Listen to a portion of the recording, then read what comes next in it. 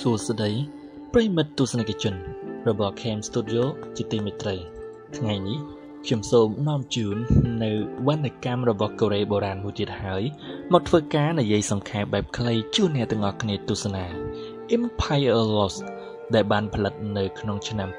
2015គឺជារឿងកូរ៉េមួយដែលទទួលបានការគ្រប់គ្រងយ៉ាងមហិមានៅក្នុងប្រទេសកូរ៉េហើយអ្វីដែលកាន់តែពិសេសនោះរឿងនេះគឺរកបានចំណូលរហូតដល់ជាង3លានដុល្លារឯណោះតោះ បើចង់ដឹងថារឿងរ៉ាវដែលបានកើតឡើងតាំងពីគ្រិស្តសករាជ1398នេះមានអត្ថន័យយ៉ាងណានោះសូមតាមដានទស្សនានៅការសង្ខេបបែបខ្លីរបស់ខ្ញុំដូចតទៅរូបភាពគឺបានចាក់ចេញនៅសង្គ្រាមមហោឈាមនៅឯទល់ដែនមួយហើយយើងក៏ឃើញមានលោកមេតបដ៏ខ្លាំងក្លាម្នាក់ហ្នឹងដែលមានឈ្មោះថាកឹមមិនជេ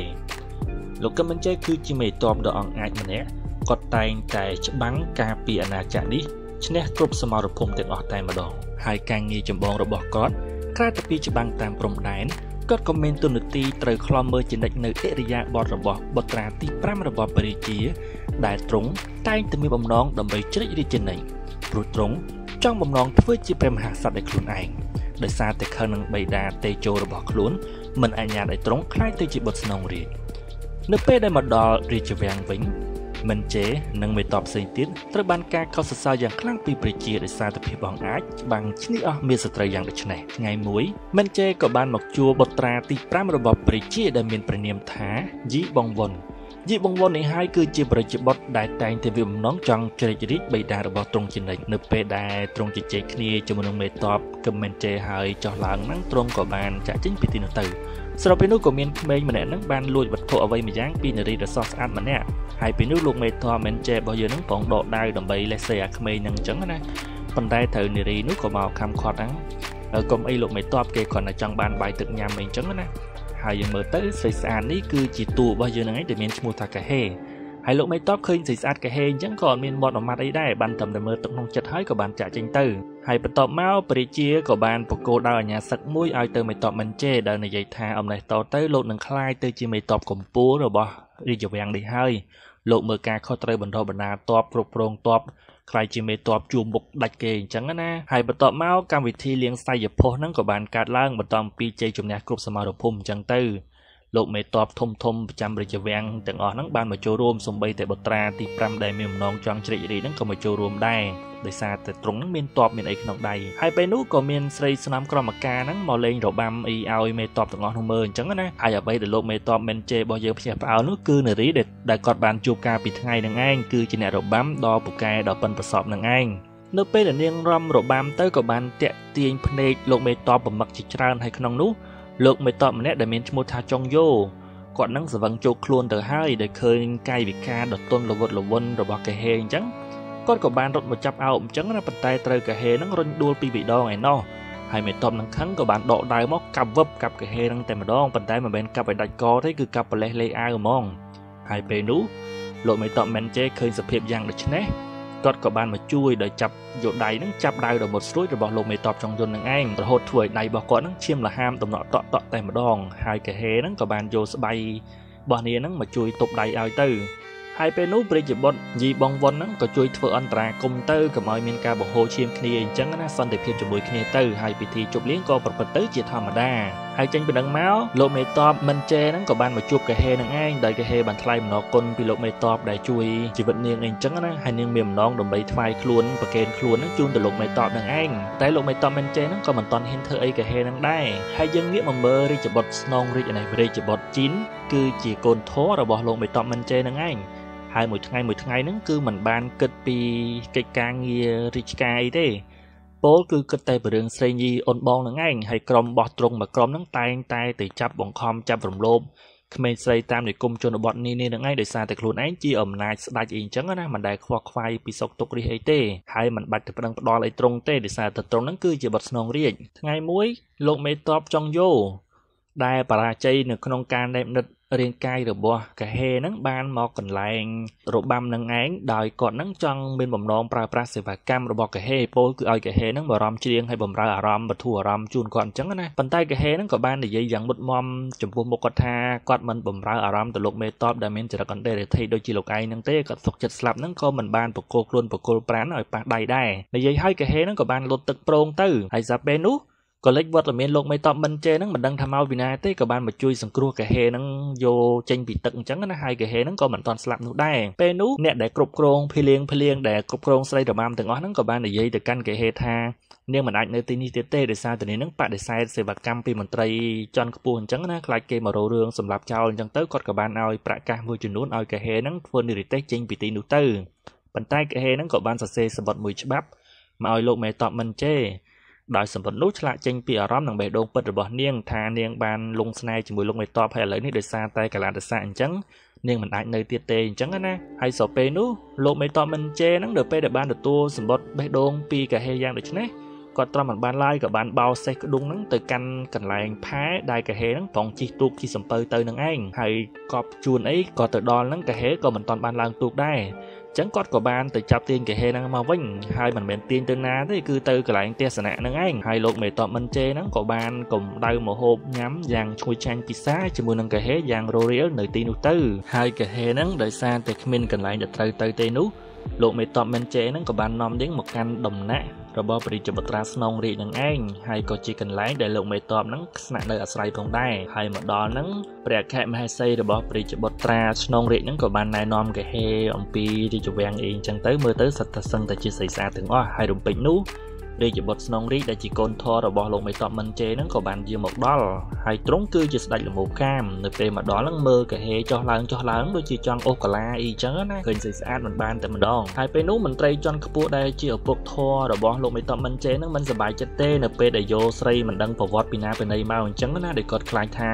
កាហេហ្នឹងគឺជាអាចស្រីដែលនាំបង្កគ្រោះថ្នាក់ទៅដល់រាជដំណាក់របស់មេតបទាំងមូលអីចឹងទៅហើយថ្ងៃមួយព្រះជាបុត្រស្នងរាជហ្នឹងព្រះជាបុត្រស្នងរាជហ្នឹងមិនដឹងថាយាងមកពីណាទេក៏បានចូលមកកាន់បន្ទប់របស់កាហេហ្នឹងហ្មងមកដល់ហ្នឹងក៏បានណែបនិតប៉ះដៃប៉ះជើងសារភាពស្នេហ៍ដែលថាគាត់នៅឃើញហ្នឹងត្រង់ត្រង់មិនចង់បានអីចឹងណា ហើយយើងក៏សង្កេតមើលអាកប្បកិរិយារបស់កាហេហ្នឹងប្រហែលជាមិនស្រួលទេយើងចូលមកកាន់សំណាក់របស់មេតបហ្នឹងប្រហែលជាមានបំណងអីមួយហើយអញ្ចឹងយើងតាមដានតទៅទៀតហើយចាប់តាំងពីពេលនេះតទៅកាហេហ្នឹងក៏คล้ายទៅជាស្រីស្នំផ្ដាច់មុខរបស់លោកមេតបមិនជេនឹងឯងហើយថ្ងៃមួយស្របពេលដែលនាងកំពុងតែកំដៅមហូបឆាងងាវឆាស់ក្រុមអីជូនលោកមេតបមិនជេហ្នឹងព្រះជាបុតស្នងរាជហ្នឹងបានលួចមើលបាទហើយនាងហ្នឹងឃើញគេលួចមើលអញ្ចឹងក៏កាន់តែបន្ថែម អារម្មណ៍រោលក្បាច់អីចាក់ពីលើនឹងថែមអីចឹងណាធ្វើឲ្យប្រជាបុតនឹងមានបំណងចង់ថាថ្ងៃណាមួយត្រង់ទៅតែស៊ីចុកនាងកេហេនឹងឲ្យបានហើយយប់មួយបន្ទាប់ពីលោកមេតតមិនជេកំពុងតែដេកហ្នឹងក៏មានគិតកោប្រមាណអ្នកហ្នឹងមកប្រុងកាប់សម្លាប់គាត់អញ្ចឹងណា ហើយយើងអត់តាន់ដឹងថាឃាតករនោះត្រូវបានបញ្ជូនមកពីខាងណាពីខាងណីនោះទេនៅពេលដែលវាយចុះឡើងចុះឡើងចាក់បានអាមួយប្រុងស៊ូនាំវានឹងក៏មានឃាតករម្នាក់ទៀតដកដាវមកនោះមកគប់ដើម្បីសម្លាប់លោកមេតបប៉ុន្តែត្រូវកហេនឹងទៅរងជំនួសហើយដំណឹងនេះក៏បានលេចធ្លាយដល់ព្រះជាព្រះជានឹងក៏បានកោះប្រជុំអសពអស់និមឺនសពមុខមន្ត្រីសេនាកុងសីអមយថោងស៊ូនាំតើតើណាប្រហើតម្នេះ ហ៊ានបញ្ជូនតបទៅទៅដើម្បីធ្វើឃាតលោកមេតបជួបមុខប្រចាំរាជវាំងផងអញ្ចឹងណាហើយពេលនោះរាជវាំងក៏បើកការស៊ើបអង្កេតជាលក្ខណៈធំពោលគឺជាទ្រង់ទ្រីធំតាមលក្ខណៈ LLHPG ក្រោយមកយើងក៏បានដឹងថាអ្នកដែលបញ្ជូនមនុស្សទៅសម្រាប់មេតបមិនជេហ្នឹងគឺជាប្រជាបុតបាំងវុននឹងឯងហើយមិនត្រឹមតែប៉ុណ្ណោះទៀតសោតយើងក៏បានបែកធ្លាយដឹងថាកាហេគឺជាមនុស្សរបស់ស្ដេចបាំងវុននឹងឯងពលគឺនាងចូលមកកាន់ដំណាក់របស់មេតបមិនជេគឺនាងចឹងសងសឹក អញ្ចឹងយើងដឹងហើយថាចំណុចនេះថាកាហេហ្នឹងគឺជាស្រីដែលមានបំណងមិនល្អទេអញ្ចឹងយើងនឹងមើលទៅមុខទៀតតើហេតុអ្វីបានជានាងមានបំណងមិនល្អថ្ងៃមួយនៅក្នុងបន្ទប់មួយហ្នឹងព្រះជាបុត្រស្នងរីហ្នឹងបានទោលទៅជួបកាហេនៅទីនោះហើយទៅហ្នឹងមិនបងអង្គយូរឡើយទ្រង់ក៏បានដេបនិតប្រឡំកាយអញ្ចឹងណាហើយយើងមើលទៅកាហេហ្នឹងពិតជាពឺពលមែនទែននៅពេលនោះនាងក៏បានអូសកលាអ៊ីជាមួយនឹងព្រះជាបុត្រហ្នឹងមែនទែនប៉ុន្តែកាហេហ្នឹងគ្រាន់តែបង្កាត់ភ្លើងតែប៉ុណ្ណោះមិនបានកម្ដៅមហោកម្ដៅអារម្មណ៍អីឲ្យរាជបុត្រស្នងរាជនោះទេហើយគ្រាន់តែកាហេចូលមកក្នុងដំណាក់មេតបមិនបានផងនោះចំនួនផ្ទៃក្នុងក៏បានកើតឡើងមេតបមិនជេហ្នឹងក៏បានវាយប្រហារយ៉ាងធ្ងន់ធ្ងរទៅលើបុត្រក្នុងរាជហ្នឹងតែម្ដងដោយមិនខ្វល់ខ្វាយថាពីកូនប្រសាស្ដេចឬអត់នោះទេវាយរហូតហ្នឹងយ៉ាងដំណំតែម្ដងហើយកេហេ កលេចនៅមើលពីចងាយហ្នឹងដោយទឹកមុខយ៉ាងពឹសពលឬយ៉ាងក្រៃលែងនាងហាក់ដូចជាបានទទួលនៅអ្វីដែលនាងចង់បានហើយលោកមេតនហ្នឹងបានសន្យាមេឃស័ក្តិសិទ្ធិដីស័ក្តិសិទ្ធិហ្នឹងជាស័ក្តិសិទ្ធិថាគាត់នឹងរក្សាកាហេហ្នឹងឲ្យគង់វង្សយូរអង្វែងមិនឲ្យមាននរណាហ្នឹងមកធ្វើបាបកាហេទៀតអីអញ្ចឹងណាមេតបហ្នឹងគឺធ្លាក់ក្នុងលងស្នេហ៍យ៉ាងស៊ីជម្រៅទៅលើកាហេហ្នឹងហើយទាំងដែលមិនតន់ដឹងថាកាហេមានបំណងមិនល្អមកលើខ្លួននោះទេហើយបន្ទាប់មករូបភាពក៏ចាក់ឲ្យឃើញអំពីកាហេហ្នឹងបានមកជួបស្ដេចបងវុនហ្នឹងទៀតហើយ ពួកគេនិយាយអំពីគម្រោងការអីទៀតហើយអញ្ចឹងយើងបង្ហាញកាន់តែច្បាស់ថាកាហេហ្នឹងគឺជាស្រីក្បត់កាន់តែស៊ីជម្រៅទៅហើយបន្ទាប់ពីជួបគ្នាហើយហ្នឹងកាហេហ្នឹងក៏បានកម្ដៅមហូបជាមួយនឹងព្រះរាជបុត្រទី5របស់ព្រះរាជាហ្នឹងទៀតហើយបាទជាទៅកាហេនេះគឺពលមែនទែនបាទកម្ដៅមហូបឲ្យគេគ្រប់ទៅគ្នាតែហ្មងហើយបន្ទាប់មករាជបុត្រស្នងរាជជីនហ្នឹងក៏បានទទួលសារលិខិតមួយដែលកាហេហ្នឹងសរសេរមកថ្វាយពលគឺយប់នេះជួបគ្នានៅម៉ោង9នៅឯឃ្លាំងចាស់មួយអញ្ចឹងណាហើយស្របពេលដែល នៅក្នុងបរិជានៅក្នុងរាជវាំងហ្នឹងមានកម្មវិធីលៀងសាយភោជប់លៀងអីផងដែរអញ្ចឹងណាស្របពេលនោះមេតបមន្ត្រីអ្នកមុខអ្នកការទាំងអស់ហ្នឹងក៏បានមកចូលរួមនឹងដែរហើយនៅពេលដែលពិធីកិច្ចគិរវកិច្ចគោរពបរិជាហើយហ្នឹងបុតស្នងរាជហ្នឹងក៏ថាំងបញ្ញាប៉អត់បាននៅដោយសារព្រះមហេសីហ្នឹងឈឺនៅដំណាក់អញ្ចឹងណាតែផ្ទុយទៅវិញរាជបុត្រស្នងរាជជីនហ្នឹងបែរជាមណាត់ជួបកេហេនៅក្នុងបន្ទប់ឃ្លាំងនេះទៅវិញដោយសារតែកេហេបានណាត់ហើយអញ្ចឹងណា ហើយនៅពេលមកដល់កាហេនឹងអូកាឡាចុះឡើងចុះឡើងទៅរហូតឈានទៅដល់ការបង្កាត់ភ្លើងប្រុងកម្ដៅមហូបក៏ប៉ុន្តែមុនហ្នឹងក៏មានហិង្សាមួយចំនួនដែរដែលកាហេនឹងរៀបចំជាស្រេចទៅហើយដើម្បីបង្ហាញឲ្យឃើញថានាងត្រូវបានស្ដេចជីននឹងបង្ខំនាងឲ្យធ្វើរឿងនឹងអីអញ្ចឹងណាហើយស្របពេលនោះដែររាជបុត្រហើយនៅពេលដែលព្រះរាជបុត្រចេនបង្កាត់ភ្លើងកម្ដៅមហូបស្ទើរតែសម្រេចកិច្ចទៅហើយនោះក្រុមមនុស្សរបស់រាជបុត្របងវ៉ុននឹងក៏បានបាត់ទ្វារមកហើយក៏ឃើញរាល់សកម្មភាពរបស់រាជបុត្រចេននឹងឯង ហើយពេលនោះ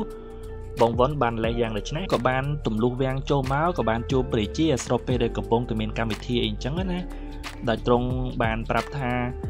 មេតបមិនចេនឹងកំពុងតែរៀបផែនការក្បត់ដែលបានបង្កប់ទាហាននៅក្រៅរាជវាំងមានគោលបំណងដើម្បីជ្រីករាជ្យក៏ដោយសារតែកូនរបស់មេតបមិនចេនឹងកំពុងតែលួចមានរឿងរ៉ាវស្នេហាជាមួយស្រីស្នំអីអញ្ចឹងណាហើយព្រះជាទ្រង់អត់ជឿទេថាបុតនិយាយនឹងមានផោះតាំងអត់បានបានជាមកចោតមេតបមិនចេថាចង់ក្បត់ចង់អីអញ្ចឹងណា ហើយស្របពេលនោះស្ដេចបាំងវុនហ្នឹងក៏បានឲ្យគេនាំបុតស្នងរាជជីននិងនាងស្រីស្នំកាហេនឹងមកដោយថាពួកគេនឹងលួចលោកមានស្នេហាក្បត់ក្បួនច្បាប់នៅក្នុងព្រះរាជវាំងអីចឹងទៅហើយពេលនោះមេតបមិនជេនឹងក៏មានការភ្ញាក់ផ្អើលជាខ្លាំងនៅពេលដែលដឹងថាកាហេនឹងគឺជា ស្រីដែលលួចមានសហាយស្មន់នេះជាមួយនឹងរាជបុត្រស្នងរាជកូនប្រសារបស់ស្ដេចអីចឹងណាក៏ធ្លាក់ថ្លើមក្ដុបហ្មងមនុស្សស្រីដែលខ្លួនឯងស្រឡាញ់ទុកចិត្តហ្នឹងបែរជាធ្វើរឿងអញ្ចឹងណាហើយព្រះរាជាហ្នឹងក៏បានបញ្ជាឲ្យអាមាហ្នឹងនាំពីរនាក់ហ្នឹងទៅឃុំទប់ដើម្បីត្រៀមប្រហារជីវិតទៅហើយក៏បានរំសាយកម្មវិធីហ្នឹងចោលទៅហើយកេហេនេះវិញសម្លឹងមើលលោកមេតបមិនជេហ្នឹងដោយអារម្មណ៍តក់ស្លុតយ៉ាងក្រៃលែងនៅពេលដែលគេត្រៀមយកខ្លួនឯងទៅសម្លាប់យ៉ាងដូចនេះហ្នឹងហើយបន្ទាប់មកនៅយប់មួយហ្នឹង មេតបកមិនចេនឹងក៏បានចូលកលព្រះជា ដោយព្រះជាទ្រង់មានមេត្តាចិត្តសន្តោសប្រណីចំពោះកមិនចេនឹងដោយមិនប្រហាញជីវិតទេបើទោះបីជាត្រូវបានក្រុមរបស់បងវុននឹងបានចោទថាកមិនចេក្បត់ជាតិក៏ដោយចោះអញ្ចឹងព្រះជាដើម្បីបង្រួបបង្រួមប្រទេសជាតិកុំឲ្យមានការចលាចលដណ្ដើមរាជពីបុត្ររបស់ទ្រង់យ៉ាងដូចនេះទ្រង់ក៏បានបញ្ជាឲ្យមេតប ក៏មិនចេហ្នឹងទៅសម្លាប់កែហេចោលនៅក្នុងគុកបំបិតមាត់ឲ្យស្ងាត់ស្ងាត់ទៅកុំឲ្យរឿងហ្នឹងបែកធ្លាយកាន់តែធំឡើងអញ្ចឹងណាហើយពេលនោះមេតបមិនចេហាក់ដូចជាអល់ឯកហើយព្រះជាក៏បានទ្រង់ស្រែកយ៉ាងខ្លាំងខ្លាំងថាលោកមិនចង់បំរើព្រះជាដើម្បីទៅស្រីម្នាក់ទេឬឬក៏យ៉ាងម៉េចបើលោកមិនសម្លាប់ទេបាំងវុននឹងបានលេះហើយគេនឹងធ្វើរាជការប្រហារគេនឹងមកដណ្ដើមរាជហើយពេលនោះកូនប្រសាព្រះជានិងព្រះជានឹងរងទុកទោសដោយសារតែស្ដេចបងវុននឹងហើយ ពេលនោះមិនជេហ្នឹងក៏បានលួចចូលមកក្នុងគុកនឹងឯងនៅពេលម្ដងមិនជេហ្នឹងក៏បានសួរកាហេនឹងថាតើតាំងពីដើមមកវាជាផែនការរបស់នាងដើម្បីនាំបញ្ហាមកដល់ខ្ញុំមែនទេដើម្បីសងសឹកទៅដល់ម្ដាយនាងមែនហើយពេលនោះកាហេហ្នឹងក៏បានសារភាពគ្រប់បែបយ៉ាងថាអ្វីដែលនាងធ្វើនេះវាកើតជាការបង្ខំទេនាងមិនមែនចេតនាដើម្បីបំផ្លាញលោកមេតបនឹងទាំងអស់នោះទេហើយនាងនិយាយថាបើសិនជាការសម្រាប់នាងហើយអាចលុបលាងនៅទោសកំហុសដែលនាងមានចំពោះគាត់បាននោះយ៉ាងសម្រាប់នាងចោលតែម្ដងទៅ ហើយនាងក៏បាននិយាយបរិហាអំពីរាជការដែលមិនគិតទុកទោសអំពីមនុស្សវណ្ណៈតូចទាបវណ្ណៈទីសកលអីអញ្ចឹងណាដោយនាងនិយាយថានាងមិនពេញចិត្តចំពោះរាជការនេះទេស្ដេចបានចាប់រង្វោកក្មេងស្រីតាមនិគមជនបទដោយគ្មានច្បាប់ណាមកអាចគ្រប់គ្រងបានអីចឹងណានាងគិតថាជីវិតទីសកលហ្នឹងគឺមិនស្មើសេះមកក្បាលនៅក្នុងរាជវាំងផងអីចឹងណា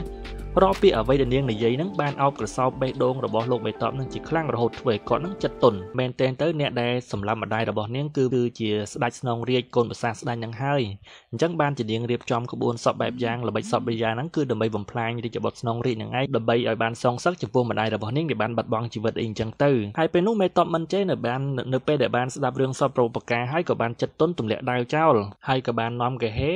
រត់ចាក់ចេញពីគុកនោះទៅ បងវុននៅពេលដែលដឹងដឹងដឹងដូច្នេះក៏បានចូលមកកល់ប្រជាដែលនិយាយថាកឹមមិនចេហ្នឹងបានលួចរំដោះអ្នកទោសរត់ចាក់ចេញពីបត់ក្បត់ជាតិអញ្ចឹងទៅ ហើយចាប់តាំងពីពេលនេះតទៅ ស្ដេចបាំងវុនទ្រង់ថាទ្រង់នឹងគ្រប់គ្រងរាល់មេតបឯទាំងអស់ហ្នឹង